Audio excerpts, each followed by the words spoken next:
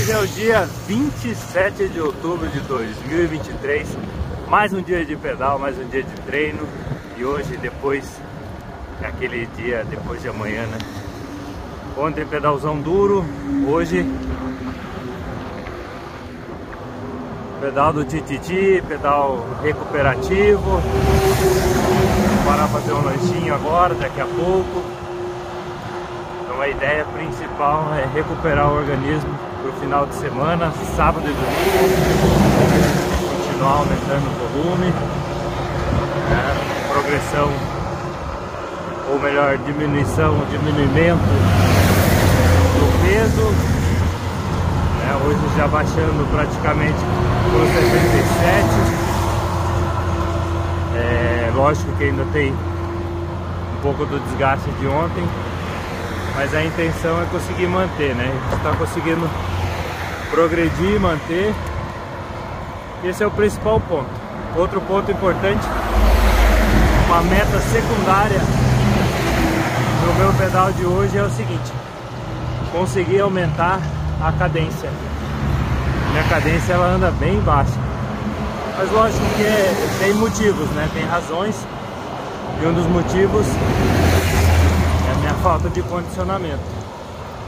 Né? Também precisa trabalhar e mandar esse comando pro organismo, né? Um trabalho neuromotor que é desgastante também. Você querer rodar em cadência alta sem ter a competência adquirida para esse momento. Sempre é um processo, são vários pontos que você tem que entender.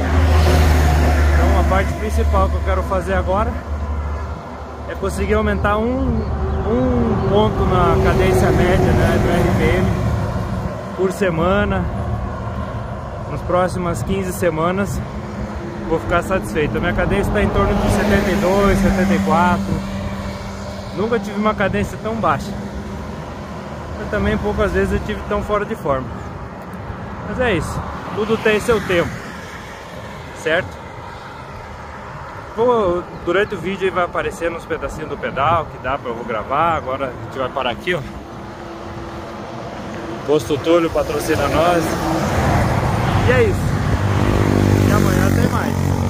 Então, não deixe de se inscrever, ative as notificações, curta o nosso canal e vamos acompanhar essa jornada de pedal. Paralelos. Lembrando que dia 5 tem Pomerode. Olha como eu adoro paralelo.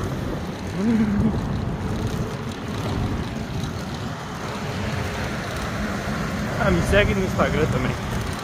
Tchau. Vamos, Davi!